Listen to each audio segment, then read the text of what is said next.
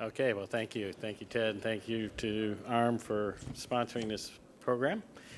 Uh, so ViaCyte is a company, we're based in San Diego. We're focused on, in the regenerative medicine space, on stem cell replacement therapy, uh, allogeneic stem cell replacement therapy, as you'll hear. We have a, the company's been around for about 10 years, we're private. We have a very accomplished team of leaders in this space, about 60 employees in the company, and we've developed over the years two novel platform technologies that we work from. One is the directed differentiation of embryonic stem cells, and as you've already heard in the first couple presentations, the key isn't the ability to differentiation, differentiate a stem cell. The key is the ability to differentiate it in a scalable fashion, in a regulatory compliant fashion, so that you get to the end of the day uh, with each manufacturing run with the same cells, the same product to move forward, and to be able to show that to the regulatory authorities.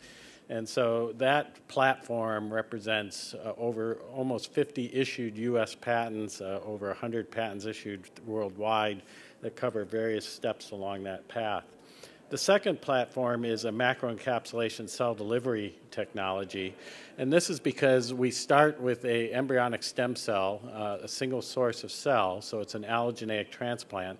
So while they're human cells, when we put these into a patient, it's not the patient's cells, and therefore we need a technology to protect them against any immune rejection. So that's the second part of the platform.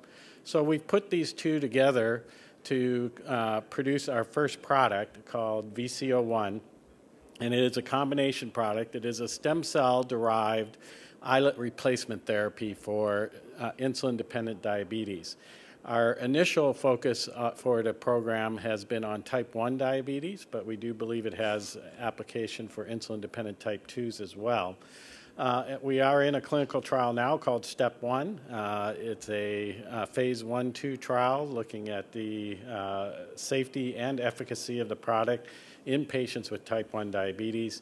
It's the first embryonic stem cell derived therapy for diabetes to reach the clinic, so we're on a, a steep learning curve as we go forward with this product. Uh, and it has the potential to provide what we would call a, a, cure, a functional cure for type 1 diabetes. If it works in humans the way it has in animals, patients would no longer need to worry about uh, regulating their blood glucose, injecting insulin, et cetera. So a clear and substantial commercial opportunity. The idea of using an islet replacement therapy is not new. Um, it's actually been around for a long time using cadaver islets under what's called the Edmonton Protocol. And under this protocol, uh, islets are uh, harvested from pancreas of cadavers. It takes about two to three pancreases to treat a single patient. Uh, but it's very effective, and you can have cure rates, uh, very high cure rates out at one year and even at five years, a substantial cure rate with uh, this, this procedure. The problem with it is it requires uh, chronic lifelong immunosuppression for as, well, as long as you've got the product in.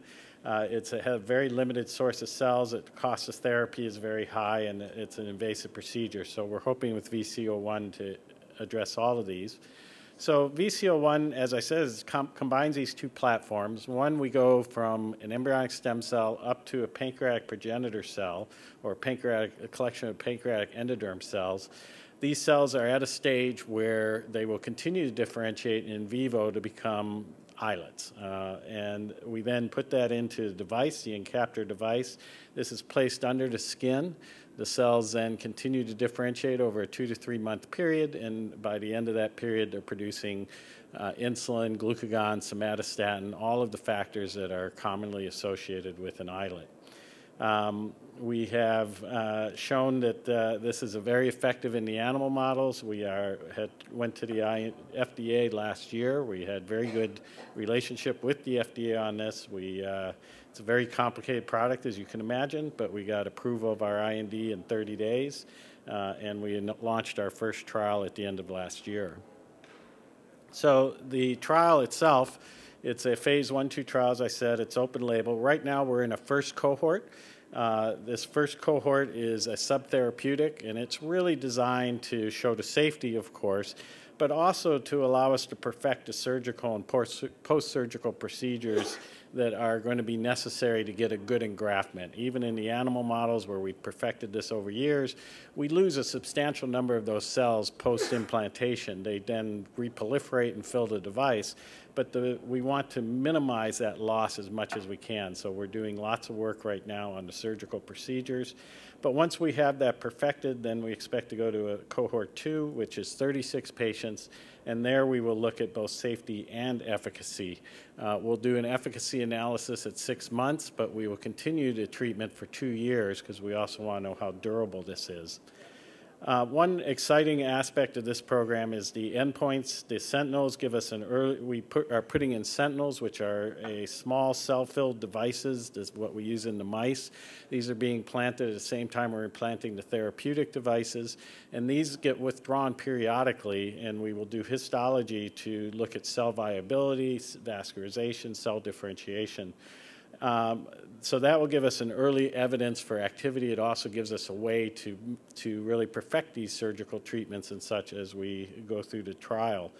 But once we get to the second cohort, we're looking at both safety but also efficacy, and that's one of the advantages of this program, is efficacy is very clear. We'll look at insulin production, C-peptide levels, and also secondary endpoints of insulin dosing, uh, the requirement of exogenous. Obviously, what we hope is they will no longer need that exogenous insulin, and frequency of hypoglycemic events. So I'll stop there, and uh, we'll talk about some questions. Great, Paul. Great. Please come join me. So those slides are really helpful in terms of describing the product VC-01. As you mentioned, this is a uh, com combination product.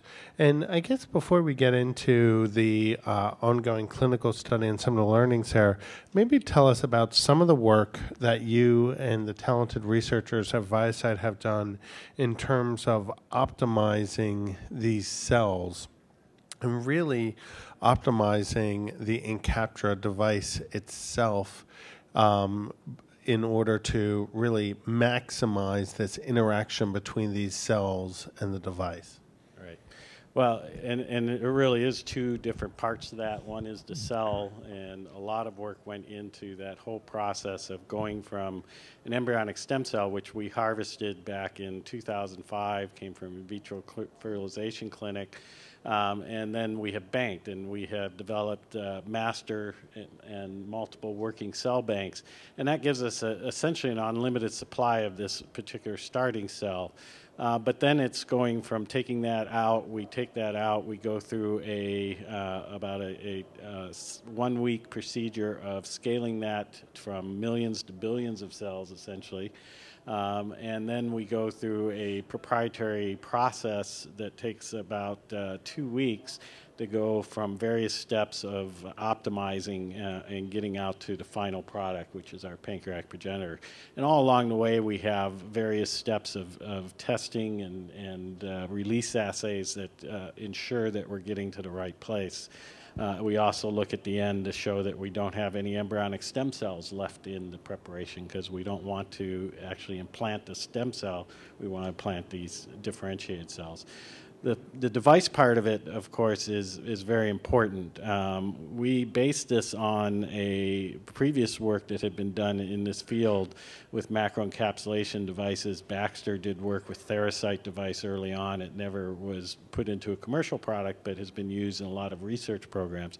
So there's a lot of data on the abilities macroencapsulation devices to protect cells against allogeneic and auto um, rejection. And this work is in across from small animal rodents up to primates, even some hu limited human studies. So we based our work on that and really focused more on making it a commercially acceptable device that would work with our cells. That's helpful. Now, in the slides, you showed us the design of the step one study. and you do have some patient experience now. So, what can you tell us about your learnings from implantation in the first few patients, and how should we expect data to ro roll out from the uh, from the study? Sure. So.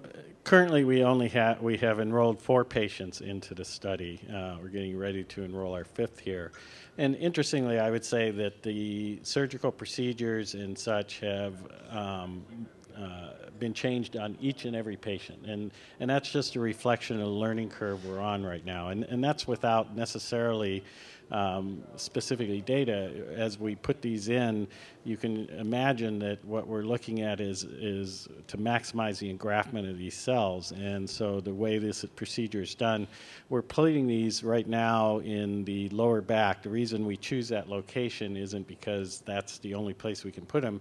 We put them there because these patients are still injecting insulin, at least for the several months they will be continuing to use insulin. And uh, so we needed to, we've shown in cadaver studies with this device that it's very robust. It will withstand things like a equivalent of a 50 mile an hour baseball hit over to direct directly onto the device, um, but it will not stand up to a needle. So we're putting in places where they don't typically inject. So, um, you know, we're learning uh, the, this, as I said, we're in this first cohort where it's subtherapeutic, so we're not expecting to see any efficacy in this, in this uh, group of patients.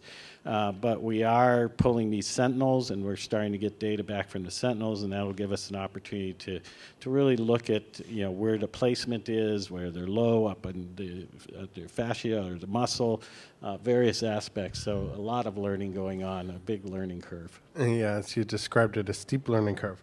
So I guess maybe kind of thinking sort of further out, how long do you believe VC-01 needs to produce insulin and control glucose in order to be a successful product? How would you define that from patient feedback and interactions you've had? What do you think defines a successful product? Um, yeah, it's a great question. It's probably a, a, question that may be answered differently by payers and patients. Patients will tell us anything that gives me relief from this disease, even for any period of time, is a, is a, you know very important to them.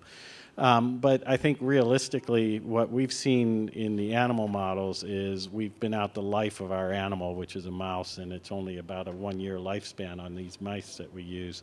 Um, so we've been out the, to the life of the animal, and it's still functional. So we at least out one year in the animal models, it's functional. We don't know what it will be in patients. Uh, we're hoping it'll be in the neighborhood of two to three plus years, uh, possibly more, uh, but that's what we'll find out. I think as long it, there's another part of this, which is what patient population are you talking about? So um, we are right now in stable, well-controlled type 1 diabetics, but we hope to move into a, a, trial fairly quickly as soon as we've established safety and, and preliminary efficacy. We plan to initiate a trial in a subgroup of patients called hypoglycemic unaware patients. This is a, a group of patients that are, are very, uh, don't get any of the typical signals you get when you get into hypoglycemia, represents about 20% of the type 1 diabetic patients, so a large population. And the problem with these patients is they have about a six-fold greater uh, chance of going into a severe hypoglycemic event. Severe meaning if there's not somebody else in the room with them, they can die. So, um, you know, that patient population, obviously the bar becomes very lower. Anything that can reduce their insulin usage uh, even for any period of time, is going to be a big benefit. That makes a lot of sense, and obviously time will impact pricing. Um, with the minute and a half that we have left, uh, the FDA is in the process of formalizing the procedure of expedited review for breakthrough status. Do you think VC-01 could qualify, and how could this impact your regulatory strategy uh, to get to the market? Yeah, so the FDA has been using the breakthrough product designation for a while now, but they're now going back and, as you said, formalizing their their view on, on how that would be um, utilized. Uh, I think it's uh, certainly something we've been focused on from the beginning with uh, when we first started the regulatory process here.